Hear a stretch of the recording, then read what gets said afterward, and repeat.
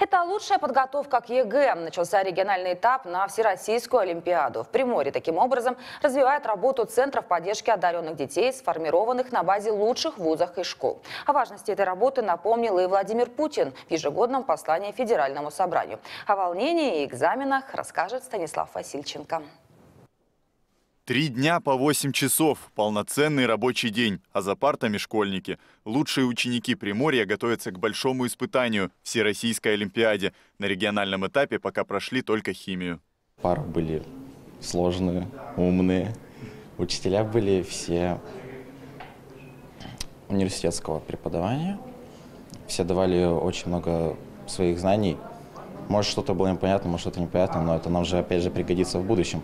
Дальше будут биология, информатика, математика, экология, английский и китайский языки. На последнюю дисциплину мы по понятным причинам возлагаем особые надежды. Но главное для участников не победа. Валерия соревнуется не первый раз, и все полученные навыки собирается использовать при сдаче ЕГЭ, чтобы потом поступить в медуниверситет. Наверное, это больше как-то к саморазвитию относится. То есть интересно узнать, насколько я хорошо могу мыслить. Ну, тут как бы больше на логику идет. Я первый раз выхожу на региональный этап. Э, ну, вообще, я занимала первые места в школе и так далее. Образовательную программу Тихоокеанских школ готовили преподаватели, студенты, аспиранты ДВФУ и даже ученые институтов Академии наук. Организаторы постарались сделать каждый из курсов максимально насыщенным. Столько информации не дает ни одна школа. Стать участником регионального тура может любой школьник, начиная с 9 класса. Основное условие – показать хорошие результаты на городском этапе Олимпиады. Никаких ограничений по факту-то и нету. То есть все, все упирается именно в то, как ты написал саму Олимпиаду у себя в городе или в районе. Если ты победил, занял место, победил, а, либо же стал победителем Олимпиады, то тебя могут, естественно, спокойной душой отправлять.